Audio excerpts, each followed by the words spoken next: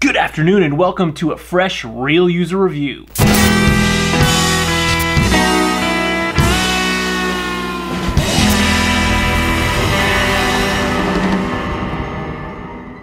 Today we're going to go ahead and take a look at the Level 8 Edwin bag. Before we even get into anything about this bag, I want to say this has one of the, if not the best, laptop sleeve I have ever seen. Take a quick look before we do anything else. Just look at this nice 3D printed cushion. Now that sleeve is clutch. But who is Level 8? Well, Level 8 is a bag company that focuses more on the corporate world. They make a series of corporate-oriented backpacks as well as laptop bags, laptop sleeves, and roller bags. And all of them are very sleek and they'll turn heads, but in a good way. So let's go ahead and do a quick bag rundown and get into a few of the specs.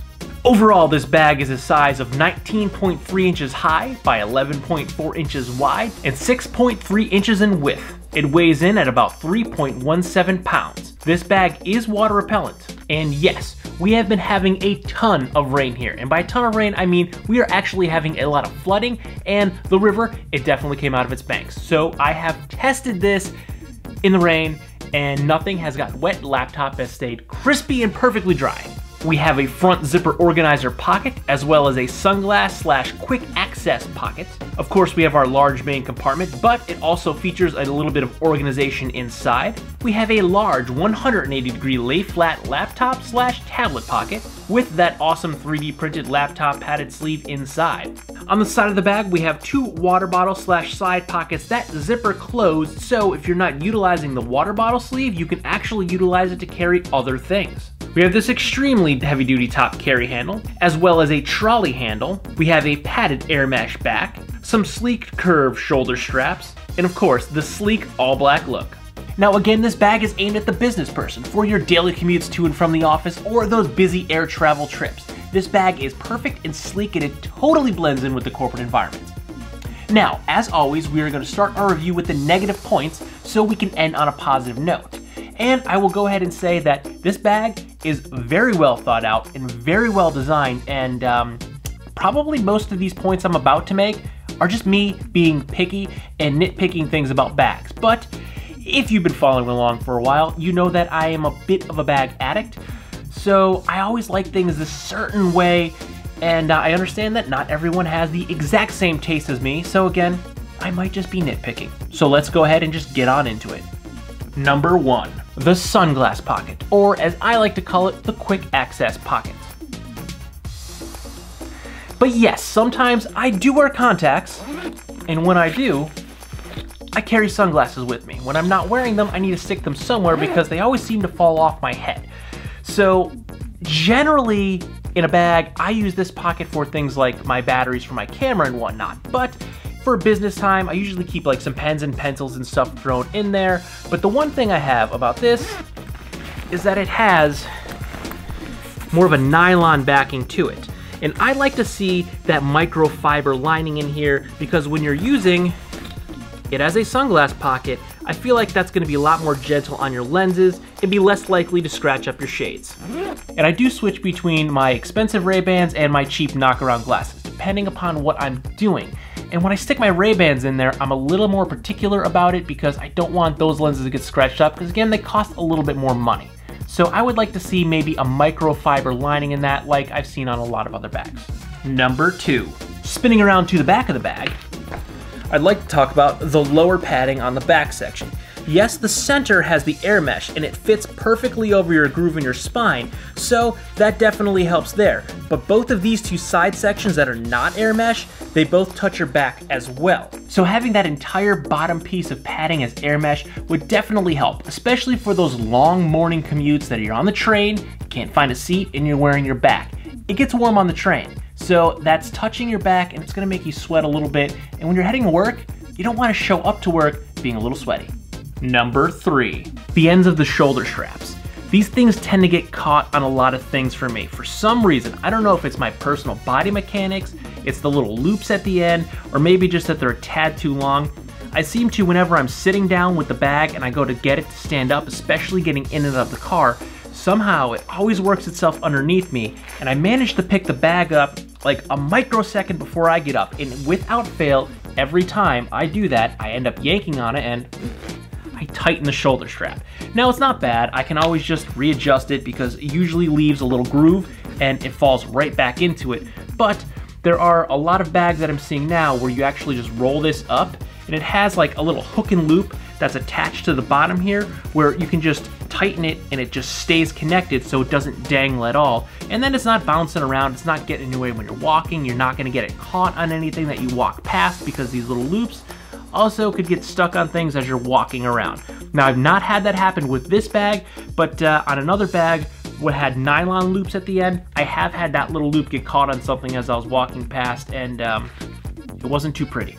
Number four, the laptop sleeve that I just got done praising. I think technically this is considered a floating laptop sleeve because it is not totally on the bottom of the bag, but there is so much extra room inside this sleeve that they could actually elevate it up a little bit more from the bottom and then your laptop's not going to be in jeopardy of being hit on the ground. I'd like to see that maybe half an inch further up because when you're setting the bag down, even though it's technically a floating sleeve, I feel like it's too low to the ground and I don't want to hit my computer on the ground. I'm always concerned about smashing my computer and really that's part of my livelihood. So if that goes, I'm in big trouble. And I have tested this with other computers and they will still fit even if you raise it up just about a half an inch. But that's all I have for the negatives. Again, I think a lot of them were just me being nitpicky because I like to dig into bags. I have a lot of bags, I have a lot of experience with backpacks, so there are things that I've kind of gotten used to over the years and things that I've seen work and don't work, and those are just a couple of things that I see. And honestly, the rest of this bag is just top notch, and I really, really dig this thing. So let's go ahead and get into the positives. We're gonna start with the outside of the bag, work our way around, and go inside. Starting with the top grab handle. I love this thing. It is thick, it's like a bicycle chain. It's connected to the side, it looks like it's actually bolted through, and then it has a heavy duty rubber cover, so it's very, very comfortable to grab, and uh, it's, it's a bike chain, so it's going to be able to hold all the weight that you put in this bag. Going on to the back, we have a trolley handle, but I'll show you a little bit later on, this also comes in handy for another purpose. Moving on to this front organization pocket, this thing has plenty of space. It's got my standard pen and pencil slots, which I love in a bag. It also has a cell phone pocket, which I don't generally keep my cell phone in my backpack, but it does fit an iPhone 6s both with and without the case. Generally, I stick some business cards in here. It also has a second mesh pocket with an elastic band across the top. I can also easily stuff down my pouch with my battery bank and cell phone cables, and it has a zipper pocket where I keep things like my checkbook or other odds and ends that I don't want to fall out. And there's also plenty of room to stash a notebook in here and some envelopes with some bills that I need to pay.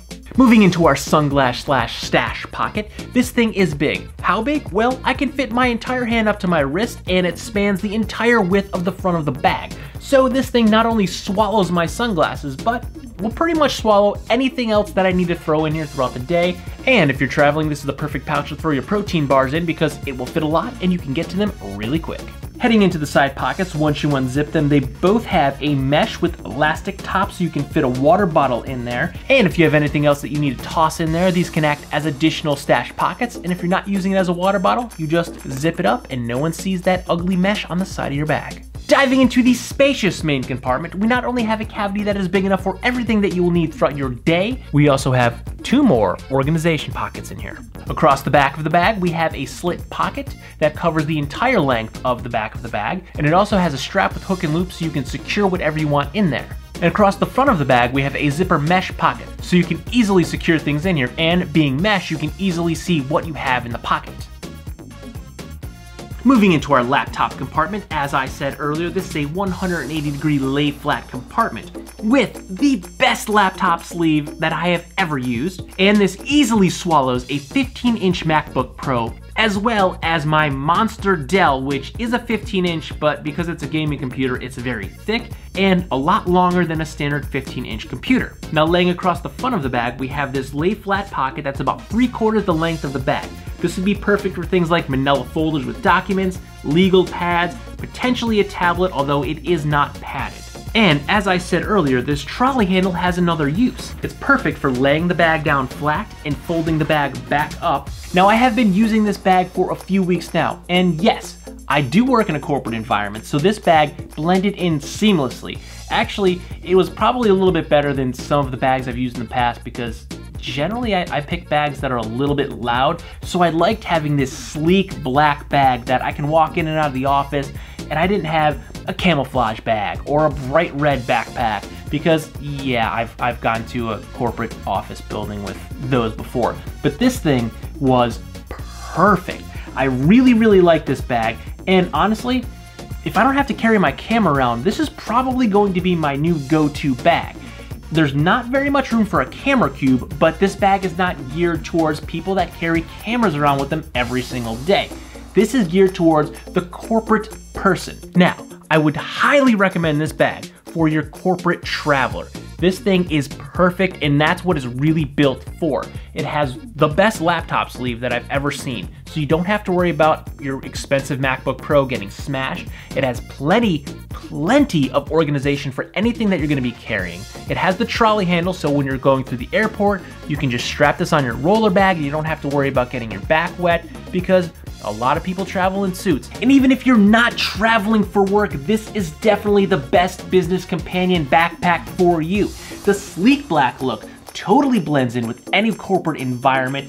The front of the bag only has the small 8 logo, and then the back of the bag has the little bit larger level 8 logo, which is pretty sleek. I love simple logos, and this, this nails it, level 8. So if you are looking for that perfect backpack to carry your computer, to carry your documents, to carry your cell phone, your battery bank, to go out, go to the office, work all day long, or travel across the country or across the world. The Level 8 Edwin is the bag for you. It has been my pleasure to take a look at this bag and to use this bag over the past couple of weeks.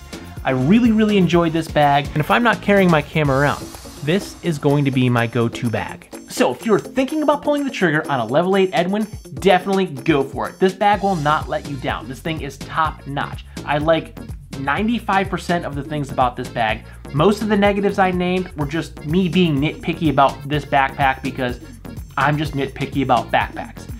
Down below in the description box, you will find links to both the Level 8 website so you can check out other offerings that they have, and a link to Amazon so you can go ahead and purchase yourself one of these fine bags.